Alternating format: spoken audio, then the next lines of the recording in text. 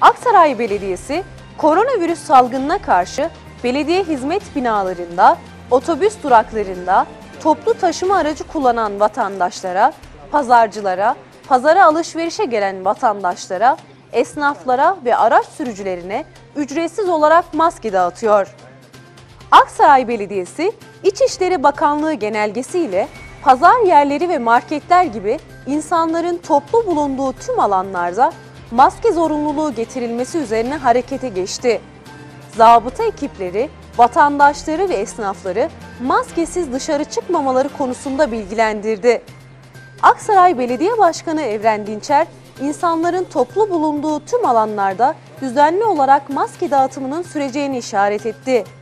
Maske dağıtarak insanlar arasında farkındalığın daha geniş kitleye ulaşmasının amaçlandığını söyleyen Başkan Dinçer, vatandaşlarımızdan istediğimiz kendisi ve ailelerin sağlığı için kurallara uymaları, topluma açık alanlarda ve pazar yerlerinde maskelerini mutlaka takmalarıdır dedi.